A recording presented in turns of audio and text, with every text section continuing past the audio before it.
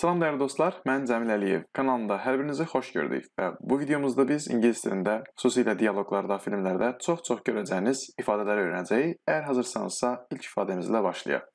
İlk ifadəmiz I see ifadəsidir. Mənası anlayıram, başa düşürəm deməkdir. I see bərabərdir I understand, I understand you ifadəsinə.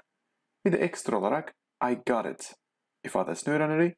Sizə biri bir şey deyirsə əgər, siz də sonda I got it deyirsiniz. Yəni I understood mənasını verir. Mən sizi anladım, başa düşdüm mənasını verir. İkinci ifadəmiz danışıqda you see, see şəklində görə bilərsiniz dialoqlarda. Bu əslində do you see ifadəsinin qısa formasıdır. Mənası görürsən, gördün, bax gördün və yaxud da bax görürsən, biri əgər anormal hərəkət edirsə, digərinə you see deyə bilərsən. Görürsən, görsən neyinir anlamında. I don't mind ya da it doesn't matter.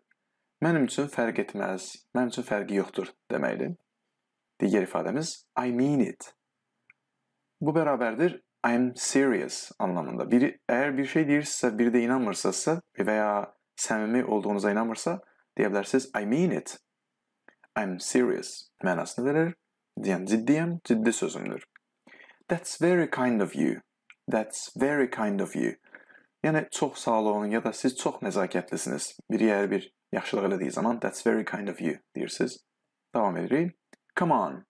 Come on həm tələs, cəld ol deməkdir. Həm də biri bir şey deyirsə, əgər siz inanmırsınızsa deyirsiniz come on. Yəni yaxşı görək. Əşi bəsdir mənalarını verir. You're right. Sən haqlısan. Digər ifadəmiz really, yəni doğrudan və də bunu Are you serious? şəklində də işlədə bilərsiniz. Yəni ciddisən. Are you sure? Əminsən. Və ekstra olaraq you cannot be serious. Sən ciddi ola bilməzsən deməkdir. Yəni əgər birinin dediyi sözü və ya da ifadəni ciddi qəbul eləmirsinizsə və ya da inanmırsınızsa onun doğru olacağına, o zaman you cannot be serious deyirsən. Sən ciddi ola bilməzsən. Yəni bu doğru ola bilməz. It's out of the question bərabərdir. It's impossible. Yəni bu mümkünsüzdür. Bu mümkün deyil deməkdir. It's easier said than done. Bu da danışıqlarda çox-çox işlənən ifadələrdən biridir. It's easier said than done, yəni dilə asan gəlir, demək asandır, eləmək çətindir. What's wrong with you? Ya da what's wrong qısaca. Yəni sənə nə olub? Ya da sənin problemin nədir? Əgər bir adam normaldan fərqli davranırsa əgər və ya bir adamın ə, e, anormal bir hərəkətini görsəz, what's wrong? What's wrong with you deyirsiniz. Bunu eyni zamanda what's the matter? What's the matter with you şəklində də işlədə bilərsiniz. Əgər bir adam bir məsələni böyüdürsə əgər, what's the big deal deyə bilərsiniz. Yəni bu qədər böyüdüləcək nə var? Yəni məsələnin bu qədər böyüdüləcək nə var? You've got a point.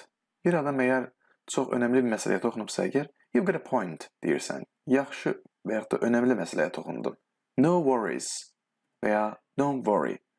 No worries, yəni narahatlığa heç bir səbəb yoxdur. Narahat olmağa dəyməz, narahat olma mənalarını verir və son ifadəmiz so far so good.